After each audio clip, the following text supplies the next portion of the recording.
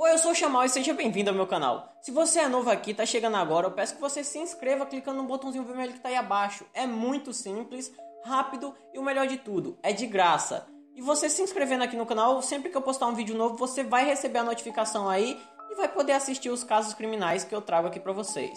Eu também peço que você me siga no meu Instagram, que é a rede social que eu mais uso e é que eu sou mais ativo. Então me segue lá que se você quiser trocar uma ideia comigo, é só você me mandar uma mensagem no direct que eu vou te responder. Até porque às vezes o YouTube não manda notificação, então eu notifico lá nos meus stories que saiu um vídeo novo aqui no canal. O caso de hoje ele foi indicação de uma inscrita. Ela pediu para eu falar sobre esse caso aqui, então tá aparecendo aqui na tela o, o print do pedido dela. Então muito obrigado a você que mandou esse caso para mim. E hoje eu vou falar sobre o caso da Kim Wall, a entrevista mortal.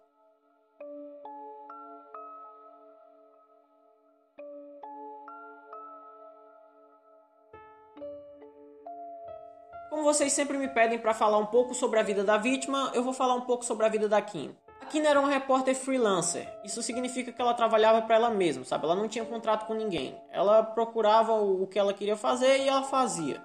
Às vezes ela é contratada para alguma reportagem específica e as outras ela fazia por conta própria. A Kim nasceu no dia 23 de março de 1987, em uma cidade chamada Teleburgo, que fica na Suécia. Ela passou a infância e adolescência em uma cidadezinha próxima de onde ela nasceu, chamada Momoe, que é uma cidadezinha ali perto de Teleburgo. A Kim era uma pessoa muito estudiosa e muito inteligente. Só para você ver, olha algumas das coisas que ela podia colocar no currículo dela. A Kim ela estudou paz e conflito na Universidade de Londres. Ela estudou e se graduou em Relações Internacionais pela London School of Economics and Political Science. E ela também se formou em jornalismo pela Universidade de Colômbia. Então ela tinha um currículo, meu filho, que era de fazer inveja a qualquer um. Para acrescentar um pouco mais esse currículo dela, que já tinha pouca coisa, né? Ela publicou reportagens no The Guardian e no The New York Times. E eu sei que mesmo que você não tenha muito contato com notícias, você já deve ter ouvido falar nesses dois jornais, porque eles são os dois jornais maiores do mundo. Eles são os maiores jornais do mundo e eles são os mais influentes. Então ela publicava reportagem nesses dois jornais. Então você vê a qualidade do trabalho dela. Em 2016 ela também ganhou um prêmio de melhor reportagem digital, então ela era incrível no que ela fazia. Isso foi tudo que eu achei sobre ela na internet, então agora eu vou pro caso. A Kim ela foi convidada para fazer uma reportagem sobre o inventor Peter Madsen. A Kim ela foi convidada pelo Peter Madsen, um inventor, um, ele era apaixonado pelo espaço e pelo mar. Ele tinha inventado um submarino chamado UC-3 Nautilus e ele convidou ela para visitar o seu submarino. Então ela foi até esse submarino na intenção de fazer um perfil dele, falar sobre a vida desse inventor autodidata, porque ele construiu e projetou sozinho esse submarino. Então no dia 10 de agosto de 2017, a Kim ela entrou nesse submarino sozinha junto com o Peter e foi a última vez que ela foi vista. Como ela não apareceu na noite, o seu namorado ficou preocupado e ligou para a polícia e na manhã do dia 11 de agosto de 2017, o submarino foi resgatado do mar. Mas o Peter estava sozinho dentro dele, a Kim não estava com ele.